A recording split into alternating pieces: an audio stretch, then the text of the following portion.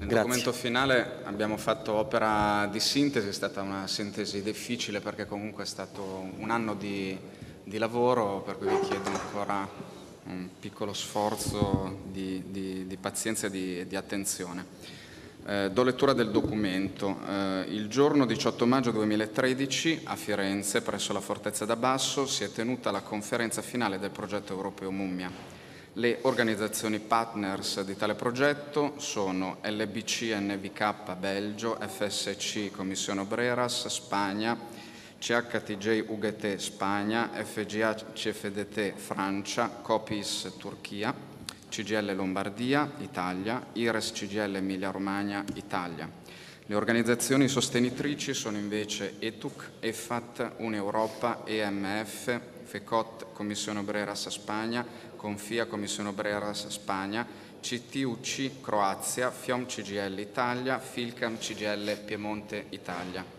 Il progetto è stato avviato con un meeting a cui hanno partecipato oltre 100 persone, si sono susseguiti cinque workshop in ogni nazione dei partner del progetto e sono emersi differenti elementi che si sono uniti in un sottile filo rosso, dalle imprese transnazionali alla multisettorialità per finire nelle alleanze globali. Gli strumenti di indagine utilizzati sono multipli e differenziati, un questionario redatto in quattro lingue che è stato compilato da una cinquantina di persone, una raccolta di casi studio riferiti a singole imprese per un totale di nove rapporti erogati in maniera non strutturata, un'intervista strutturata per essere somministrata a testimoni privilegiati nel numero di otto sindacalisti nazionali o di federazioni europee internazionali o esperti di tematiche sindacali. Cinque workshop. Il progetto ha visto un imponente lavoro di coordinamento e di sinergia, proprio alla ricerca di quegli elementi utili per superare le differenze e fondersi in quella che i testi di relazioni industriali definiscono una cultura sindacale europea. Durante la giornata del 17 maggio, densa di eventi e tavole rotonde, si è potuto fare sintesi rispetto ai lavori condotti sino alla data odierna e alle problematiche sostanziali emerse nell'ambito dei workshop. In una prima fase della giornata sono stati presentati i risultati della ricerca ed illustrato le esperienze dei diversi partner e partecipanti con l'intervento di, per brevità nominerò solo i nomi, Emilio Ferrero, Hélène de Bord, Serafin Delgado, Deniz Agdogan, Kun Dries, Pal Kovacs. E la partecipazione dei membri dei vari comitati aziendali europei, a seguire due tavole rotonde su due tematiche principali, una dedicata agli strumenti per identificare in Europa quei dati utili relativi alle multinazionali che si possono reperire da diverse fonti. I relatori sono stati Romuald Jagodinski e TUI, IWC Database Manager e Peter Kerkhoffs, ricercatore di Eurofund. Le sessioni della giornata del 18 maggio sono state ricche di qualificati partecipanti e relatori alle due tavole rotonde. La prima è stata dedicata al tema principe del progetto Mummia, ovvero come promuovere i CAE nelle realtà delle imprese multinazionali multisettoriali, con i relatori Fausto Durante, Marina Monaco, Kerstin Howald, Hélène de Bord, Kuhn Dries, Francisco Dominez Villalon, Giuliana Mesina, coordinati da Fabio Gelfi, responsabile politiche globali CGL Lombardia.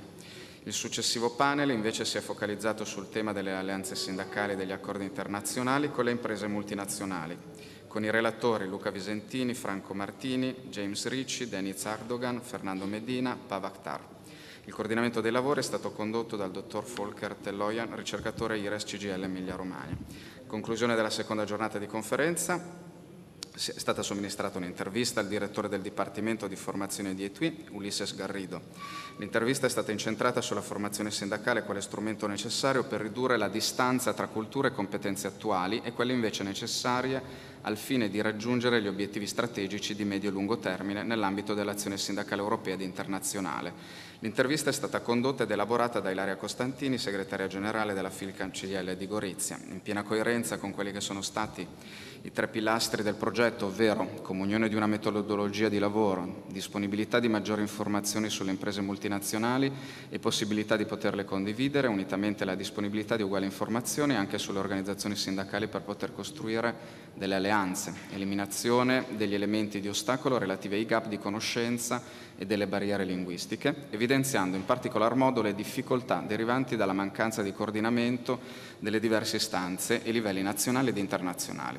Nello specifico l'attività sindacale internazionale è uno strumento fondamentale ed imprescindibile dell'esercizio più ampio dell'attività di rappresentanza a livello locale e nazionale. Alla luce delle indicazioni emerse nell'ambito delle sessioni di dibattito, si ritiene utile convocare per la successiva riunione del Comitato di pilotaggio il capo dipartimento del settore relazioni industriali dell'ETUI in maniera tale da verificare con organicità e maggiori elementi di conoscenza i seguenti punti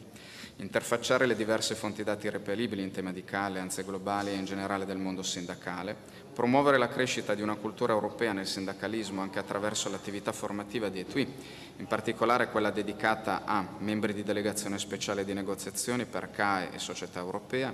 membri effettivi e supplenti di CAE già installati, corsi di project management management per l'acquisizione di una metodologia di lavoro comune, corsi di pianificazione e organizzazione di una metodologia di lavoro comune tra i componenti dei CAE e delle società europee. Verificare la prosecuzione delle indagini di ricerca sugli elementi più critici emersi durante il progetto attraverso una nuova progettualità.